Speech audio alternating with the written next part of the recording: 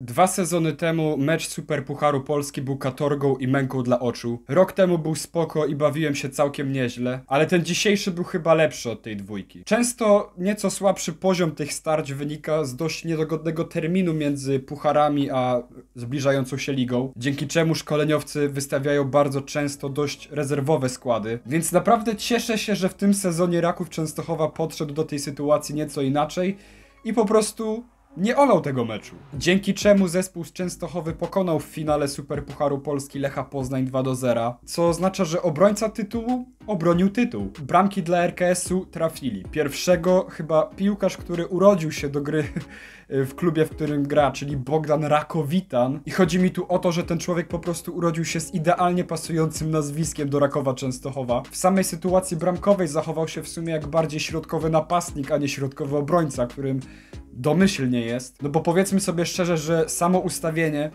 i samo kropnięcie tak mocno, tak precyzyjnie było dość dobre. Drugiego gola trafił oczywiście Mateusz Wdowiak, który popisał się klasyczną akcją ala Mateusz Wdowiak, y, czyli zejście z lewego skrzydła na prawą nogę i uderzenie po dłuższym słupku klasyczek. Co zresztą przenosi nas do innego punktu, który chciałem tutaj omówić, a mowa tu o tym, że mam wrażenie, że Raków Częstochowa w ostatnich latach jest chyba najrówniejszym klubem ze wszystkich, jakie istnieją w Ekstraklasie. Bo ten zespół od kilku sezonów po prostu cały czas praktycznie prezentuje się na równym, dobrym poziomie, z momentami lekkimi spadkami formy, ale cały czas jest to po prostu bardzo przyzwoity, wysoki poziom, co cechuje się naprawdę pozytywną powtarzalnością, schematycznością oraz poukładaną grą. Dodajmy do tego efektowność i efektywność, i mamy zespół, na który po prostu bardzo miło się patrzy. A cieszy mnie to dodatkowo tym bardziej, że w perspektywie mamy jeszcze mecze eliminacyjne do UEFA Ligi Konferencji Europy zespołu RKS-u, a dużo sobie od nich obiecuję, ponieważ no rok temu oglądanie zespołu z Częstochowy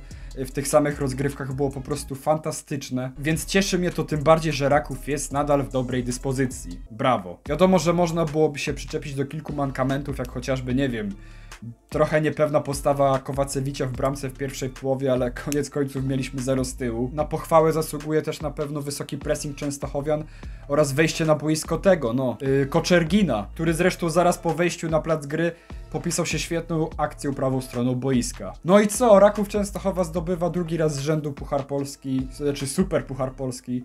No w sumie Puchar Polski też. I idealnie podbudowuje swoje morale przed zbliżającymi się meczami ekstraklasy, ale co ważniejsze dla całej Polski, y, eliminacjami do UEFA Ligi Konferencji Europy. Brawo. Ale no to cóż, no, było widać, że no nie wyszedł no to spotkanie, jakby to powiedzieć, no w optymalnym składzie, co zresztą idealnie można zobaczyć po obsadzie środka obrony dzisiaj po stronie kolejorza, bo mieliśmy w y, bloku Kwekweskiriego. Dodatkowo na tą słabszą postawę Lecha na pewno wpływ miały również y, trochę gorsze postawy zawodników, którzy na co dzień grają znacznie lepiej. Jak chociażby dzisiaj Balua, który grał nieco chaotycznie i nieco tracił piłek. Najbardziej chyba po stronie Wielkopolan podobał mi się dzisiaj Citaj Szwili, który zanotował naprawdę kilka fajnych, odważnych prób indywidualnych, przy których wywalczył kilka groźnych stałych fragmentów gry. Dodatkowo, co mógłbym powiedzieć o Lechu Poznań? Środek pomocy nieco słabiej. No i oczywiście, koniec końców, słabszy wynik. Ale ja bym w sumie nie przejmował się tym jakoś szczególnie przed tym rewanżem w Baku, bo doświadczenie i historia z oglądania polskiej piłki nożnej yy, nauczyła mnie tego, że mecz meczowi nierówny, a sama koncentracja wśród pucharowiczów rozprowadza się tak naprawdę na te najważniejsze starcia. Także co, Lech 0, Raków 2. Ja wam dziękuję za uwagę, zapraszam do subskrybowania kanału Tradaj, ponieważ zbieram do końca tego roku 10 tysięcy subskrybentów. Zapraszam też na Facebooka Tradaj, bo tam publikuję różne różniste pościki i zapraszam Was do posiadania klasycznie dobrego humoru i miejcie jeszcze dobry humor w ten sobotni wieczór, bo ja jeszcze po tym idę się bawić. Także auf Wiedersehen!